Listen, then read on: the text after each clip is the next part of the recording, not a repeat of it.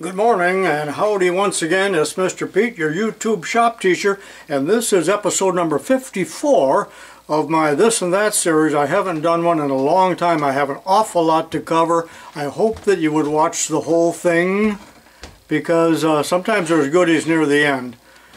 But the average viewing time is four minutes, so. But I, come on, please watch the whole thing for a change.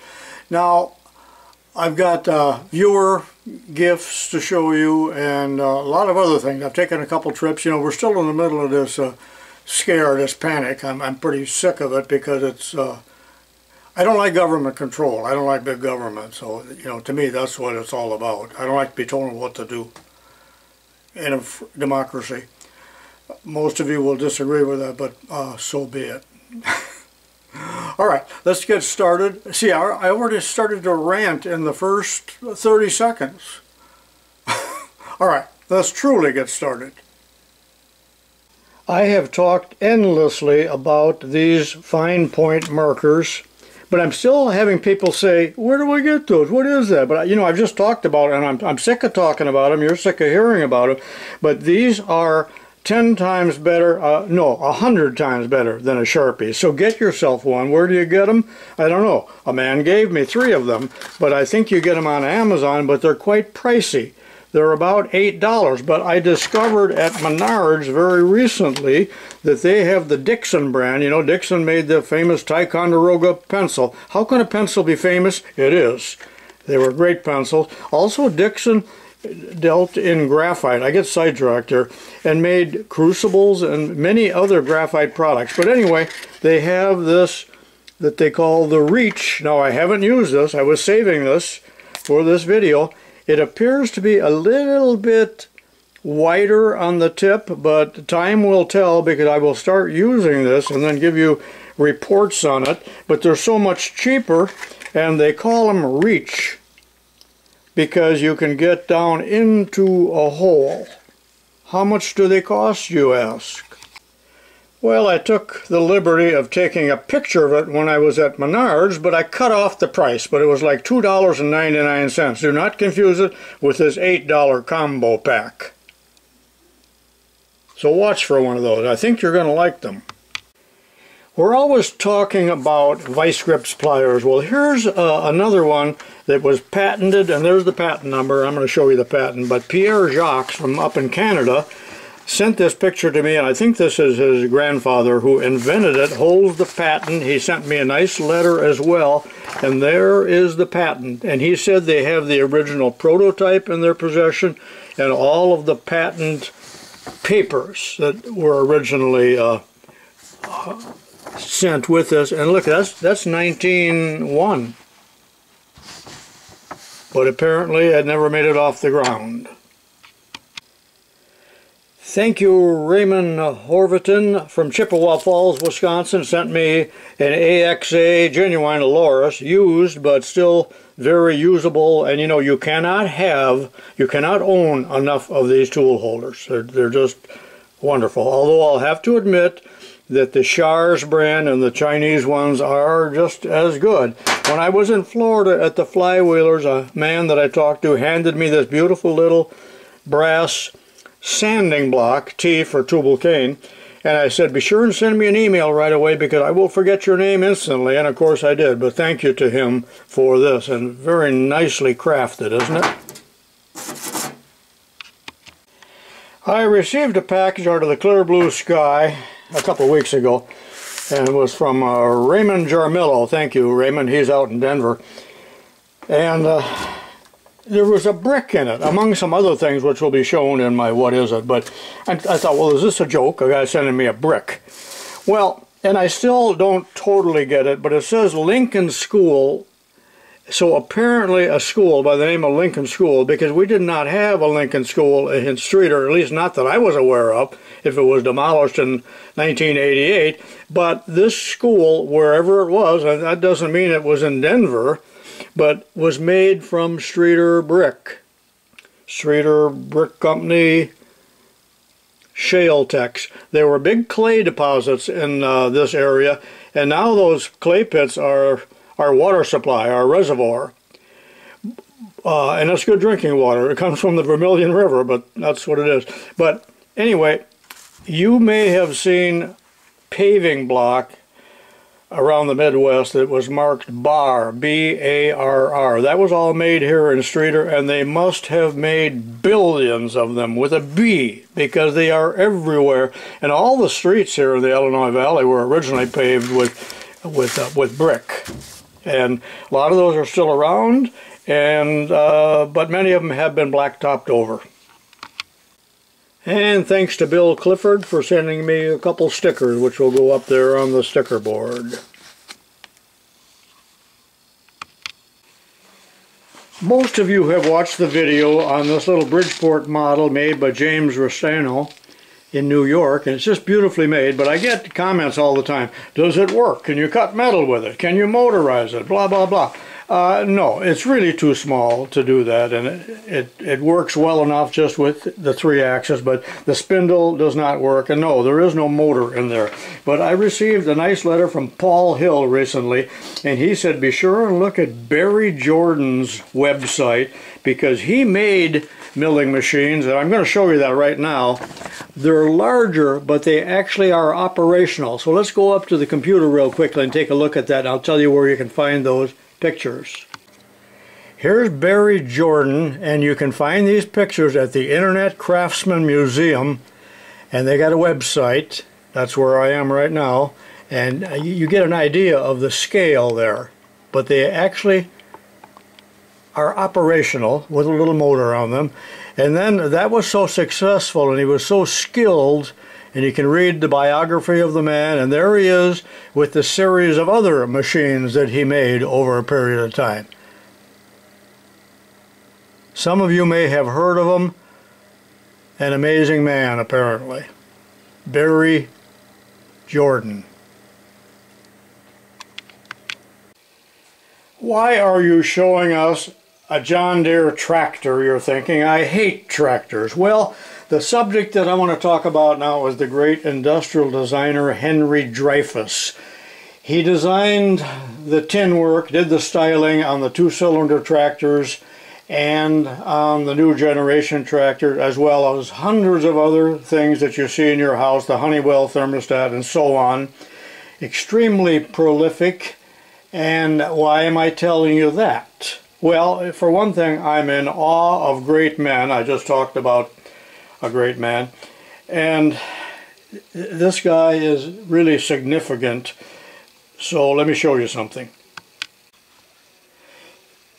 Here I am at the Art Museum in Davenport, Iowa, and I was out there on, the very first day of this uh, uh, virus thing, you know. We were the only ones in the museum, and you might say, oh, you mean there weren't many. No, we were the only ones there and I went specifically to see this exhibit on Henry Dreyfuss and I did take some footage of that it's not very good but I decided to put it in a separate standalone video hopefully some people will watch it but there's Henry Dreyfuss in the background and it was just uh, such an exciting day for me there was no restaurants to eat out in that day so I had to come right back home it was about 100 miles away so watch for a video that I do on Henry Dreyfuss. Some of you may never heard of him, but he is just the industrial designer of all time. Long dead, long dead.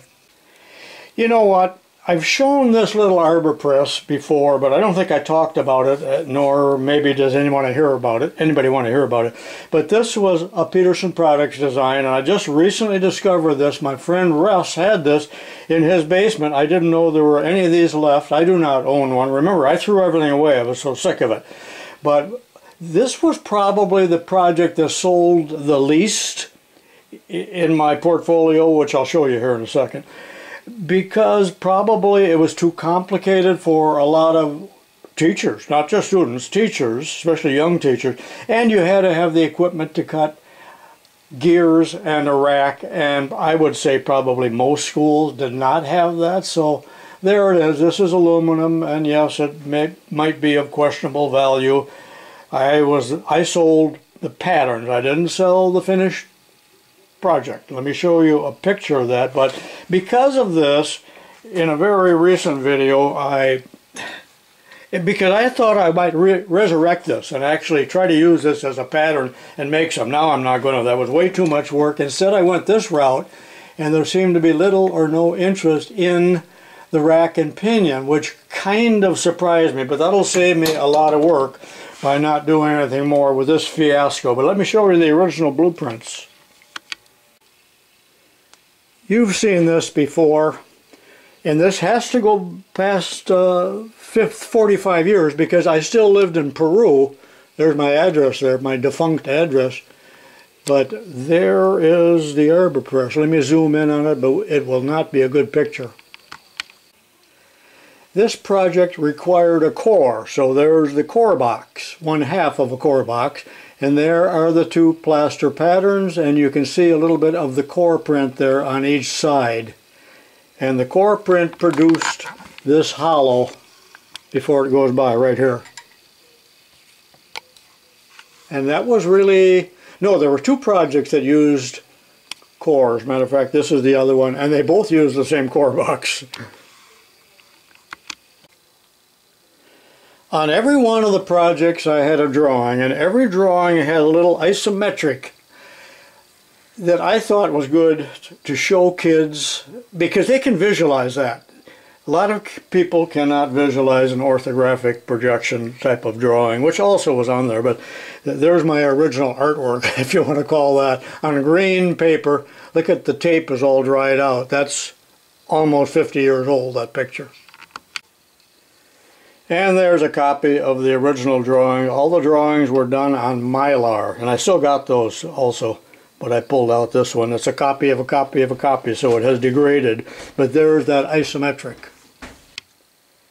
There's Abraham Lincoln sitting with my complete line of projects. There is the Arbor Press in the background. Whether or not that is the same one I just showed you, I have no idea. I doubt it. But on my lap here, I'm trying to show you, I mean on Lincoln's lap, this is the large drill press vise, and I do have a copy of that. You've seen that many times. There is the original wooden pattern made by my brother. There is the plaster pattern. It doesn't show up. What a dork I was. I mean, Lincoln was. The white didn't show up in uh, photographs, and there's the finished project.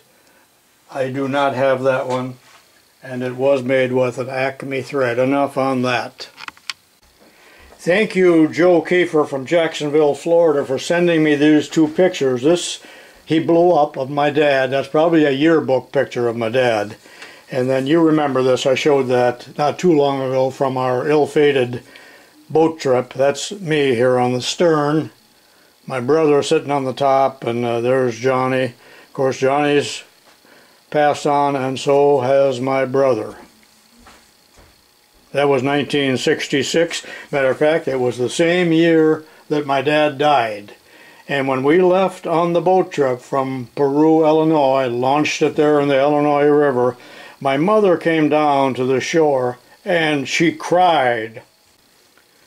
My dad had only been gone three or four months and now her two boys are going to their death on this horrible little boat out into the Gulf of Mexico and then over to the Bahamas. Well, we never made it to the Bahamas, but we made it as far as Tallahassee, Florida.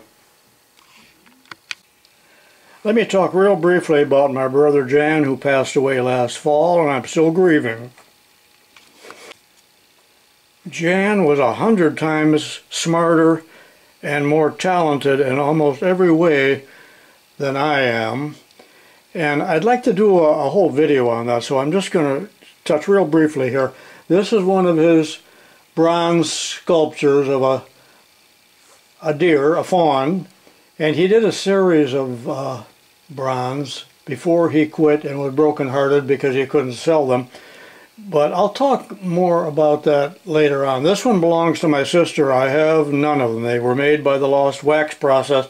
This is one that we actually did cast at the high school. The others were made by an art foundry. This article appeared in three local newspapers about a month ago a local man who was a neighbor of ours, a businessman and somewhat wealthy, donated $25,000 to the college in a scholarship in my Jan's, my brother Jan's name, and there is the article. We were deeply moved. This is a picture out of the other paper. I'm not sure where this came from, but it's probably taken in the 70s when he was doing the sculpture. He's making a funny face there.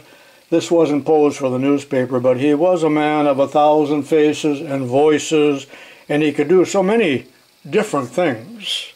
Extremely talented, multi-talented. Thank you, Alan Herney from the state of Washington for sending me a box full of books. There's the elements of mechanism, but it turns out to me it's a little bit too much math. It look, looks like a physics book, but there might be some interesting things in there. And then there are, what, five or six books here from a correspondence, American School of Correspondence. That was a very popular way of teaching years ago. This is out of Chicago. So, and the, these books are 40 cents. Plane surveying, Algebra 1, Algebra 2. I could stand to review some of that. I really could, should review my trigonometry. Plane geometry I got A's in. I could write the book. But anyway, thank you, Alan. I'm fully aware that I'm always showing you people books and I have a lot of them and some of you guys that like old tractors and engines and things like that may be familiar with these books by C.H. Wendel. C.H. Wendel, he's out of Iowa, and some of these books are quite thick. And they are studies, for instance, here's all of the different engines and products that International Harvester made. So he had a whole series of books like this, and probably wrote articles and magazine articles and, and so on. But why am I telling you this, you ask? Because, and there's C.H. Wendel himself, and I don't believe he's passed away. I have these two books too. You might recognize the cover. But the auction is over already. It was an Aumann auction, April 9th. Online bidding only. And uh, what they were selling is his complete library that he used for reference and for studying and so on in order to write his books.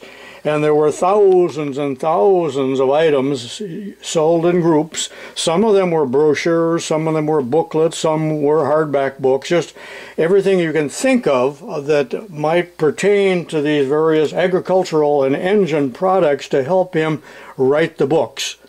And at some point, you know, we got to divest ourselves of things. I'm about there myself, but look, it says thousands and thousands of pieces of material on anything he ever wrote about. This is a must-see auction. Well, you missed it. It's over, but it, it, now it's recirculated to younger men, and apparently he no longer needs them. He led uh, trips over into England, uh, old engine trips like that. Uh, and things like that all throughout England, and he's apparently sponsored them.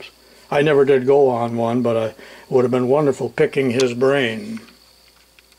This from the last episode, but Stan Dyer, he's down in Missouri, manufactures these sharpeners. I'm going to give a demonstration on that, by the way, sometime. Sharpening, uh, for sharpening lawnmower blades. But anyway, he sent me some pictures of projects that he made and uh, most of them are my projects, not all of them, but he did a real nice job. So let's take a look at those pictures. There's an engine that he made. That's not mine, that's quite a, a job. There's the bell center punch, the machinist clamp, one of the little wobbler engines, and there's really two of those.